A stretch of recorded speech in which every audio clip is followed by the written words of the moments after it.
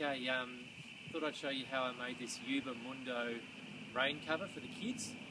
Um, so the Yuba Mundo is the bike, and uh, Yuba doesn't put out a rain cover yet for the kids, so just hacked one together. So I thought I'd show you how to make this particular one. I'm sure you could make different versions of this.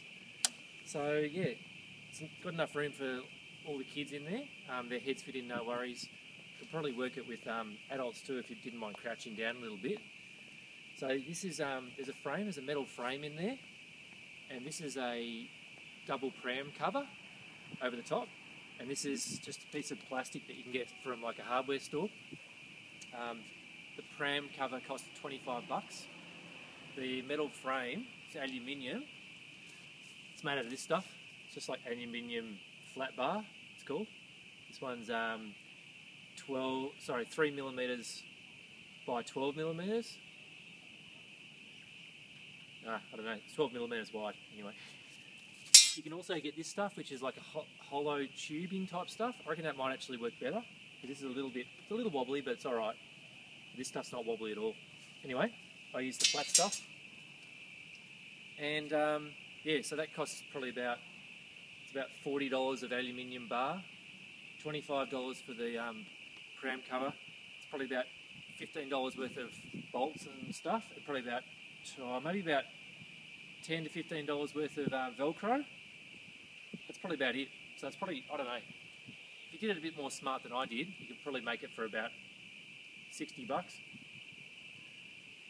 Or if you got it second hand or pram cover for free, you could probably do it for about 30 bucks. Anyway, I'll take it apart so you can kind of see how it works. Um, so it's quite cool because the um, the bottom skirt comes off. So um, I'll try and do it quickly so you don't get too bored. So the skirt's all held on by. Um, could you come over here a bit? The skirt's held on by Velcro. It's, it's heavy duty uh, Velcro brand Velcro, so the proper stuff.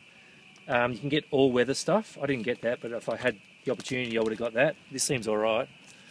Um, and it's all held on by that, so you can just stick it onto the bike. It's really, it's good. It works really well. So then the skirt just comes off like so.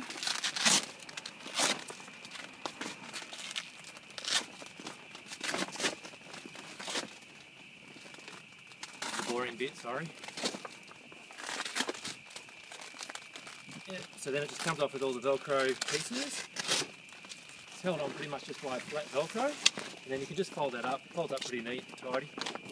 Um, and it stores pretty pretty easily. You fold it up neatly, it looks better, anyway. It's pretty neat. And then uh, the good thing about this is that um, this you can actually just use this like this. If it was a light shower, you could easily just use it like this. Um, it all straps down with Velcro straps. They're just again just stuck on. So light shower, no worries. If your kids got uh, like waterproof pants on, probably be fine. And they can see out and everything. And then when it stops raining, or if you know, uh, even on a cold day, it'd be quite good for keeping them warm. It's not too bad where we live, but we're in a cold area. So it just folds back. And you know, if you're a bit more careful, you could probably fold it up a bit neater than that. And then the kids can just sit there just like normal. So yeah, it's pretty it's out of the way. It's pretty. You can actually leave it on there permanently if you wanted to. We probably will when it comes to winter, but we don't really need to at the moment during summer. And if you just come over here, I'll just show you how this works.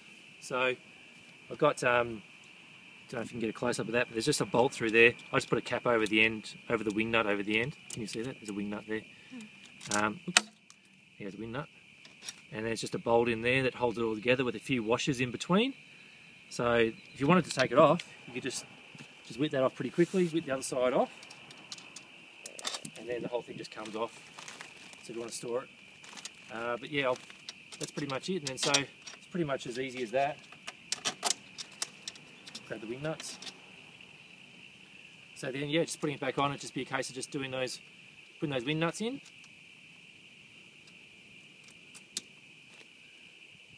Lost the other wing nut, but anyway, straight over, bing bang boom that's it. So yeah, DIY Yuba rain cover for the kids. It's detachable. It can stay on. It won't get in the way. It actually provides a little bit of area where you can You can actually um, store stuff in there if you wanted to. Waterproof, like a little waterproof area, which works quite well.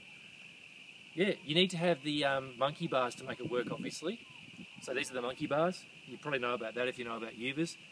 Um, yeah, I don't know how you do it without a uh, monkey bar, but yeah, that's how I do it. Oh yeah, these holes, I didn't even have to drill these. They're already in there. So yeah, it all works pretty well.